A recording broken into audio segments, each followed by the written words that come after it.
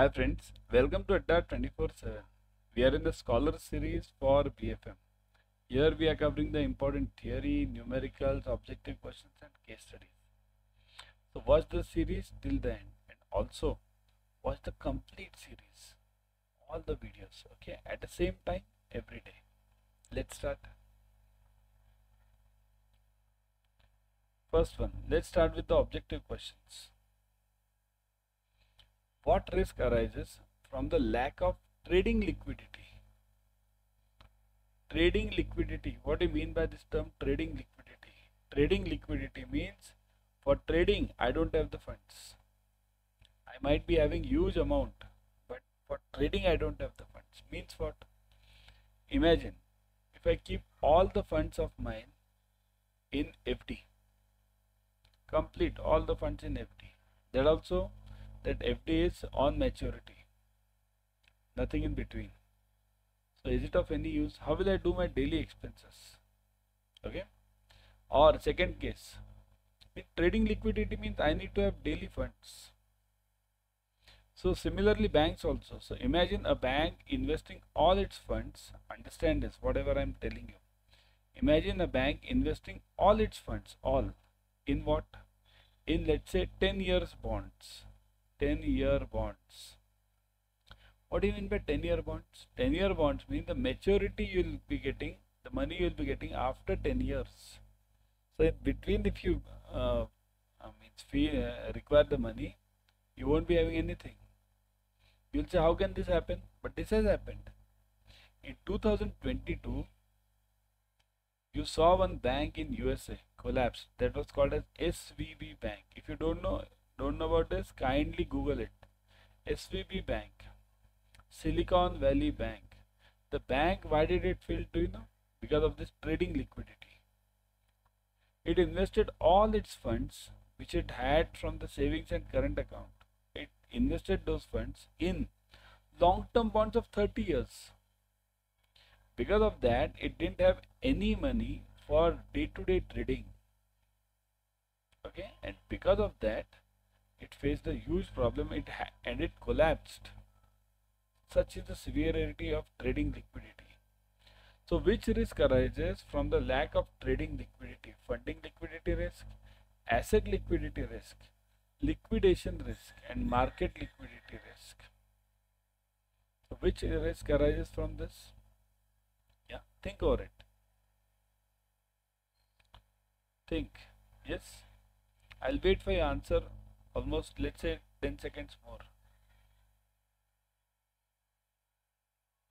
Just now I gave you the example. What happened to SVB bank? It went into what is it called as? When the bank collapses when the bank fails it is called the bank has gone into funding liquidity asset liquidity liquidation or market liquidity. What is it called as? Type in the comment section everyone. It is called as yes. Let me see how how many of you are typing and what are you typing you guys? It is called as liquidation risk. Liquidation means bankruptcy. So this bank had faced the bankruptcy. Similarly all the banks might face the bankruptcy if they don't follow the asset management uh, uh, this matching concept. Okay that's why RBI has come up strictly to provide to avoid this trading liquidity. RBI has follow, uh, tells the bank to follow what gap system or bucket system. Gap or you call it bucket. Bucket, right? That's why we have this uh, the team called as ALCO in our bank. ALCO team does the same job, right? Got it, everyone? Clear? A particular corporate security has been facing the lack of trading liquidity. This is called as funding liquidity risk, asset liquidity risk, asset liquidation risk, and market liquidation risk. Now think over this. Now we are talking specifically of a typical corporate uh, entity okay so it is facing a lack of trading liquidity so right now it is facing this tra trading liquidity? So the answer will be funding liquidity, asset liquidity, asset liquidation and market liquidation.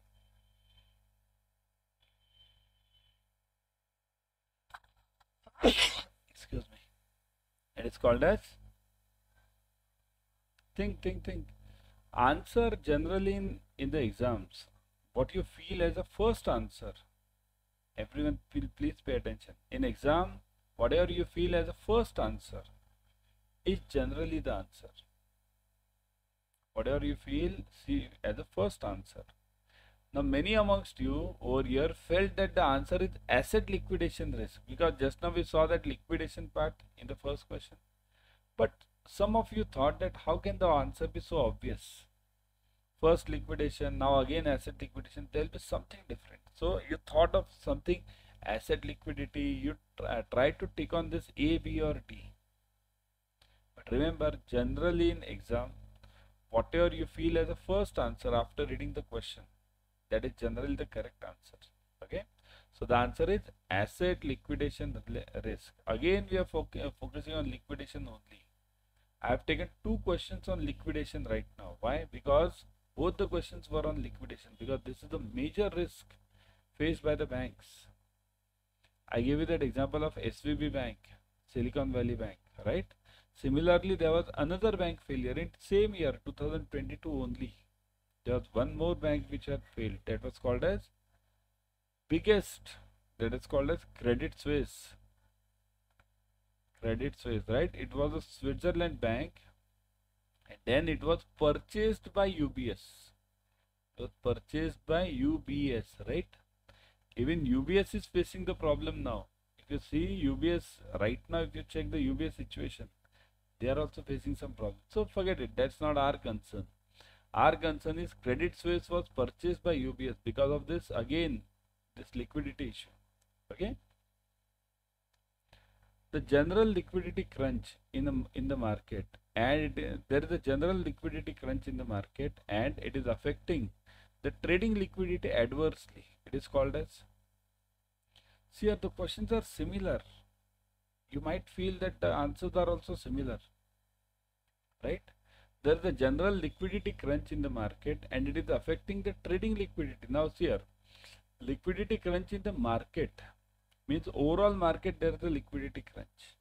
When did this thing happen liquidity crunch in the market during the covid time remember in covid time there was the uh, there was a huge fall in the overall investment culture and it led to liquidity uh, uh trading liquidity adversely of course india didn't suffer that because in india during the covid time if you see the stock markets rose like anything. They were up, up, up, up. Only in first wave, means first date of March 20, right? The COVID, of the COVID, the stock markets fell. Otherwise, they only went up. But that was only in India. It was not the case in other countries.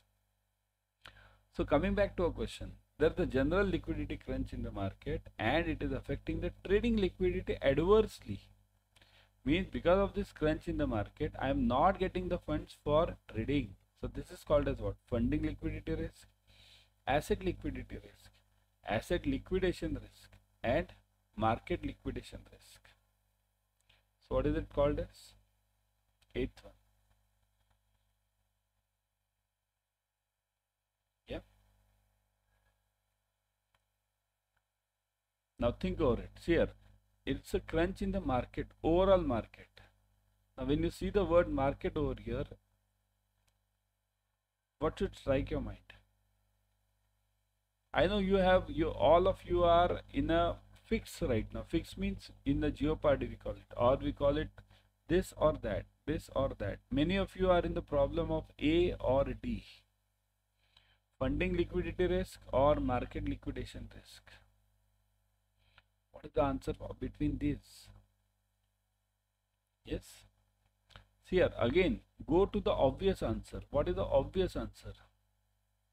The obvious answer is what is given in the question market word. So same market word will be used over here. Market liquidation risk. Okay. Market liquidation risk. So this there is a general liquidity crunch in the market and it is affecting the trading liquidity adversely. So it is called as market liquidation risk. Okay. Got it clear? Next one. The credit risk of the of traded debt securities such as bonds, debentures and commercial papers is indicated by. So the credit risk of the traded debt securities, traded, what do you mean by traded? Those debt securities which are tradable in the market. Okay, what do you mean by tradable? See, there are two types of market. One is primary market and second is secondary market. What is primary market? When I purchase the bonds from that company, let's say simple word IPO. Whenever I purchase the shares or bonds from the company itself. So let's say Reliance. Okay, Reliance is selling the shares or bonds. Let's say, let's call it bonds today. Okay, Reliance is selling the bonds and I purchase the bonds. Me. I buy the bonds from Reliance. So this is known as primary market. I brought it directly from Reliance. Now if I sell these bonds to somebody else, like let's say you, I sell the bond to you, then this is called a secondary market. So whenever you purchase, you are not purchasing from Reliance, you are purchasing from me. Now where is the relation of this concept primary and secondary market to traded debt securities? It means there is a relation. The relation is traded means what? It should be tradable in the secondary market. Anything which is tradable means if you are ready to buy the bonds from me, only then it makes sense for me to buy an IPO. If the bonds are not being purchased by anyone other than me, then will I be able to sell them to others? Will I be able to earn the profit? That is called as traded debt securities, which are tradable in the market, such as bonds, debentures, commercial papers is indicated by the earnings from these securities, the face value of these securities, the credit rating of these securities and all of them. Think over it.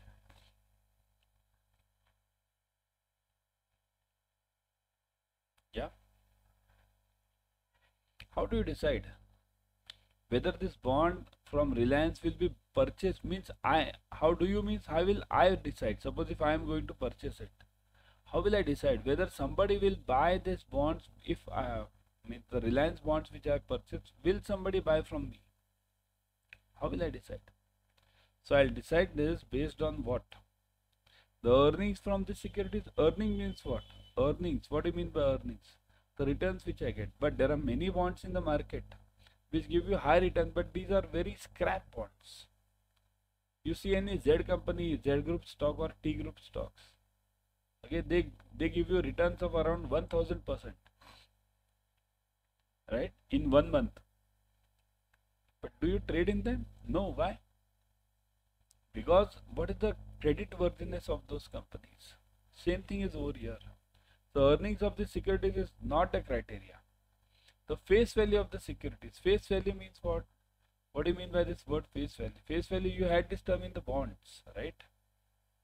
Face value means that uh, the amount which you get which is written on that paper which you get on the maturity. So that is also not important. The important part over here is credit rating. Credit rating of the securities is of the utmost importance utmost. If the credit rating is good only then others will buy the bonds. Suppose if i uh, sell you the bond of kingfisher airlines kingfisher you, you know this Kingfisher, Vijay Mallya's company, bankrupt. Suppose if I sell you the bond of Kingfisher Airlines, will you buy it from me? No. Although it might give you thousand times returns, but you will not buy it. Okay, so that uh, it's all the credit ratings. When the rating of financial instrument is lowered by a rating agency, the spread over the risk-free rate, what does it happen? Increases, decreases, remains constant, there is no relationship. Means what do you mean by this? Suppose if the rating is lowered, means what? If I am having a bond which is AAA. Now let's say the bond is reduced from AAA to let's say triple B, means lowered. triple A to triple B, what will happen?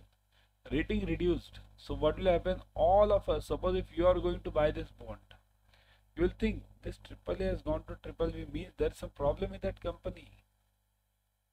So if that there's a problem in that company, what will happen to the spreads? Spreads means the difference. The difference, okay? Difference between the funds which are received and funds which are given, okay? So incoming and outgoing funds, that is a spread, right? Difference between them. So what happens to that? It increases as the market demand uh, uh, demands higher yield on higher risk instruments decreases as the market expects lower yield on the higher uh, risk instruments. Remains constant, no change, nothing will happen to this. And there is no relationship. Very, very, very important question. You guys must, must, must follow this and must be able to think over it. So, what is the answer now? Think. The answer is A, increases Many of you have written this decreases, but it increases. Why increases? Because as the rating goes down, people will be demanding, uh, uh, means demanding higher rate of interest. Means let's say if the company was giving 4% rate of interest, 5% earlier. Now it has gone down. So you only, if you, you, you think of yourself, you are investing in this bond or this FD or this share, anything which is giving you 5% returns. Now it has gone down to triple B. So rating has reduced. So what will it tell the company? No, no, no. I'll buy this only if you give me 7% returns. Because I'm taking higher risk now. Why? Because you guys have been downgraded from triple A to triple B. So you have been you you are just downgraded. You have gone down. So now to compensate for this downgrading, you pay me higher rate of interest. So this it increases spread increases. Because the incoming funds will increase. Earlier they were coming at 5% now they are coming at 7% okay? So that is the answer. The process of market risk management has the following parts. One risk identification risk measurement risk monitoring and control risk mitigation and risk pricing so the process of market risk management has the following parts. What parts does it have? Market risk management. What are the parts? 1 to 5 all. Risk identification, measurement. See here, risk management we are talking of. Management. Identify, measure, monitor and control, mitigate and pricing. Ideally, what, what do you think should it have? What do you think? All of them? 1 to 5 all? I am saying the answer 1 to 5 all. Again you have fallen in the trap. Why trap? Because you haven't studied this concept very clearly. See this important part risk management. Management means identify the risk measure the risk monitor the risk and mitigate the risk. Pricing is not the part of risk management. Pricing is different so the answer is 1 to 4 all, not 1 to 5. Risk pricing is separate. Risk pricing is done not by you, it is done by the buyer. What the logic. Here, risk pricing will be done by the buyer, not by that company. Suppose let's say you are buying a uh, means an instrument, a share, which is let's say again come back to some uh, bankrupt company, let's say Kingfisher Airlines, if you are buying the share of Kingfisher Airlines, then Kingfisher Airlines will say, no, no, no, we are very safe. It's up to you to decide whether you should buy that share or not. And for that, you do the risk pricing. So risk pricing is a different concept than risk management. It is this is done by the buyer and this is done by the seller. Okay, so the answer is B. 1 to 4 only. Got it? It is 1 to 4 only. Next one. The market risk management policy formulated by the board of directors of a bank generally takes into account number one, market risk management policies, market risk management procedures, aggregate risk limits, risk review mechanism, reporting and auditing systems. So what does it take into account? Yes. Market risk management policies, procedures, aggregate risk limits, review mechanism, and auditing systems. What do you think? Yeah. Here the answer is A, 1 to 5 all. Okay, all of them. Because whenever board of directors formulate a policy, whenever, they have to take into account the lowest level person, how will that person work? How will that lowest per level person react to the policies? Okay, how will that person uh, try to uh, avoid his work using this policy? All these things it has to take into account. So, it will take into account all the five elements okay risk management policies procedures aggregate risk limits review mechanism and auditing systems. Which one of the following is not the part of the role of asset liability committee? Alco. Which one of the following is not the part? So alco here in market risk management always remember alco focuses on generally market risk.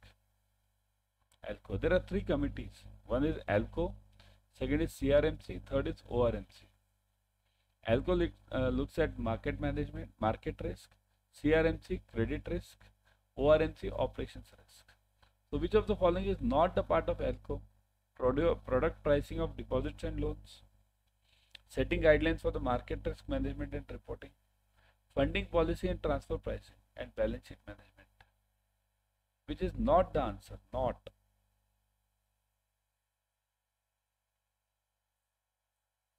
Yes. Product pricing of deposit and advances. That is a part of ALCO because product pricing means what? Asset liability management. That is the main job of ALCO. So A is this. A, I'll write this true over here. Whatever is true, I'll write true. We want a false one, not. Okay. Second one, I'll focus on C. Funding policy and transfer pricing. So this is also true. Transfer pricing means this is a separate topic altogether transfer pricing means the rate at which you uh, sell your bonds or sell your assets to your internal company internal department. Means if retail banking is having the loans of housing loans of let's say 1000 crore so those housing loans are sold to the treasury of the same bank treasury of the same bank. And the pricing decided for that is known as transfer pricing. Okay there's a big topic on this. Uh, someday i'll explain you in details giving various examples. Okay i'll give you one more example in this. Suppose if your branch is uh, transferring the computers let's say now let's take one minute. Your branch branch x okay? Your branch is having computers. Branch x okay? Is transferring the computers computers to branch y branch Y. So both are the same same bank branches. So you should give it for free. But do you give it for free? No. What do you do? You you charge them some basic price, basic, so that your branch profitability. Now look at this. I'm talking of branch profitability, not bank profitability. Because when you transfer the computers, your asset is gone, and this asset is received by this bank, this branch so your asset profitability, your asset is gone. So your branch profitability will be affected. So you charge the basic price, minimum price we call it. And this minimum price is called as transfer price. So that is the job of ALCO, not computers. Here I am giving you the example of computers. The example is of loans, of bonds, all these. Okay. Balance sheet management, that is the job of ALCO. This is not the job of ALCO setting guidelines for the market risk and reporting. Reporting is a compliance part. Okay. Setting guidelines for market risk management. Guidelines are not set by this ALCO team. Guidelines are set by the board of directors and RMCB. Got it? Clear? Before going, kindly join the victory batch All the numericals, objective questions, case studies covered, all the compulsory subjects covered. You can join the Maha, Mahapack 2.0 as well. In Mahapack, you are getting multiple batches. How to join this? Let me show you. Go to Adda 24-7. I'll always suggest you to go through the app. in the app you get 1% extra using the coin systems okay so go to Adda 24 7 so just click on this JAIIB and CAIIB click on JAIIB and CAIIB click on CAIIB May 24 see this. Now you will see this victory batch. Okay? Click on this victory batch. All the numericals objective questions case studies covered. You'll see the details over here. Ebooks are there test series online live classes expert faculties interactive classes recorded videos and limited size batches. Everything is there. And click on buy now. Put the code y432 y432 click on apply look at it 79% off you're getting if you go through the app you're getting 1% extra so 80% off so join it immediately. Also you can join the Mahapack. In Mahapack right now you are getting double validity. Okay. Let me show you. See this. You're getting double validity. Double validity. Click on this. Double validity means you are getting you buy for 6 months, you get it for 12 months. Also 80% off. Yes, this 79 plus 1. Just now I showed you. This buy now. Y432. Never forget this code Y432. Okay. 79% off plus if you go through the app you get 1% extra so join